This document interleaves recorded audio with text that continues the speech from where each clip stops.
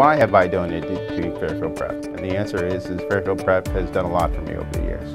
Uh, I be, um, I look back and I think to where I am, I, and I can see you know, the the foundation of that success and the foundation of my career is what I learned here at Fairfield Prep. And so when Fairfield Prep asked me to donate, it was a very quick yes for me.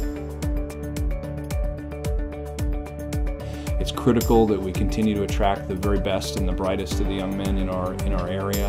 And to do that, you know, we need to continually be investing in the in the physical plant and in the facilities.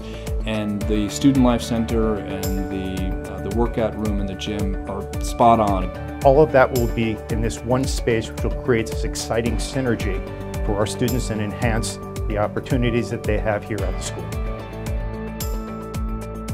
The Jesuit Educators Academy at Fairfield Prep is going to allow not only the professional development of our faculty and staff, but also the spiritual development. As the number of Jesuits continues to shrink is absolutely essential and is the uh, it's really the life of the school and the life of its future. Ultimately, it's really a, a humanistic approach uh, to the uh, art of teaching. So it's really nice to see that, that the whole Jesuit education takes what is, is so special about a core individual and just amplifies it, makes it better, improves upon it, builds upon it.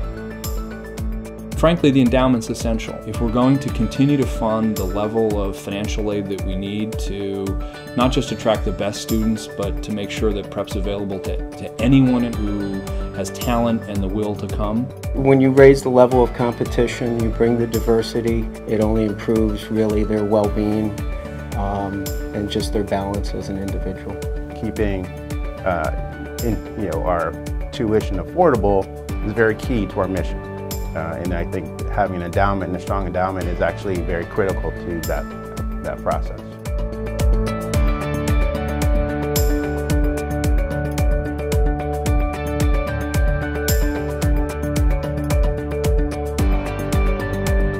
Our oldest would say to his dad, I caught him a few times saying, Dad, thank you so much for sending me to Fairfield Prep. That, that was, I really can't thank you enough.